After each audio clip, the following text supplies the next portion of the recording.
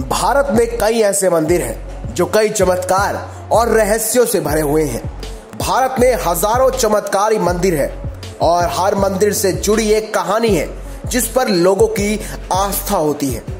ऐसा ही एक शिव मंदिर है, जहाँ शिवलिंग में अपने आप ही होता है जल अभिषेक झारखंड को राम के काल में दंड कारण्य का क्षेत्र कहा जाता था। यह उस काल में ऋषियों की तपोभूमि थी। घने जंगलों से घिरे।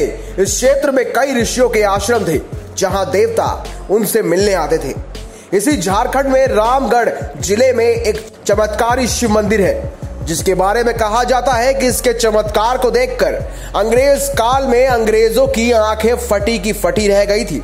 इस मंदिर की कहानी और प्रसिद्धि आज भी दूर दूर तक फैली हुई है। झारखंड के रामगढ़ में स्थित इस प्राचीन मंदिर, शिव मंदिर को टूटी झरना के नाम से जाना जाता है। मंदिर में मौजूद शिवलिंग पर अपने आप ही 24 घंटे जल अभिषेक होता रहता है। आश्चर्यचकित करने वाली बात यह है कि यह जल अभिषेक कोई और नहीं, बल्कि खुद माँ गंगा द्वारा अपनी हथेलियों से किया जाता है। यह अपने आप में एक आश्चर्य है। यहाँ शिवलिंग के ऊपर माँ गंगा की एक प्रतिमा स्थापित है, जिनके नाभि से अपने आप पानी की धारा उनकी हथेलियों से होती हुई शिवलिंग पर गिरती है। यह आज भी रहस्य बना हुआ है कि आखिर इस पानी का स्रोत कहाँ है? कहाँ जाता है? इस मंदिर की जानकारी पुराणों में भी मिलती है। इस प्राचीन मंदिर का इतिहास 1925 से जुड़ा है। बताया जाता है कि जब अंग्रेज़ इस इलाके से रेलवे लाइन बिछाने का काम कर रहे थे, पानी के लिए खुदाई के दौरान उन्हें ज़मीन के अंदर कुछ गुम्मत रुमा चीज़ दिखाई पड़ी। अंग्रेज़ों ने यहाँ पूरी खुदाई की। और उन्हें मंदिर पूरी तरह से नज़र आने लगा। मंदिर के अंदर भगवान भोलेनाथ का शिवलिंग मिला और उसके ठीक ऊपर माँ गंगा की सफ़ेद रंग की प्रतिमा मिली।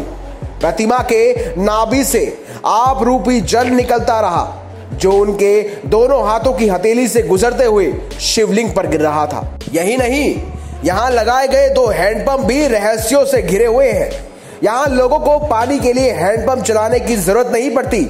बल्कि इसमें से अपने आप हमेशा पानी नीचे गिरता रहता है।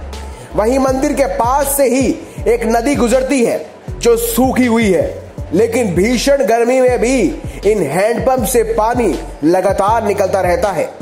मंदिर में श्रद्धालुओं का तांता लगा रहता है। लोग दूर दूर से यहाँ पूजा करने आते हैं। भक्त मानते हैं कि यहाँ सच्चे दिल से मांगी गई मुरादें सदैव पूरी होती हैं। श्रद्धालुओं का कहना है कि टूटी झरना मंदिर में जो कोई भक्त भगवान के इस अद्भुत रूप के दर्शन कर लेता है, उसकी मुराद पूरी हो जाती है।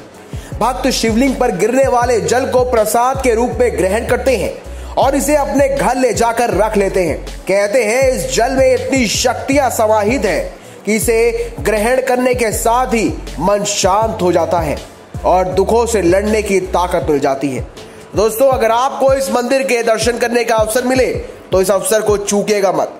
और अगर आपको हमारी ये खास जानकारी अच्छी लगी हो तो इस वीडियो को लाइक करें, हमारे चैनल को सब्सक्राइब करें, इसे ज़्यादा से ज़्यादा शेयर करें, और साथ ही कमेंट बॉक्स में ओम नमः शिवाय लिखना ना भूले।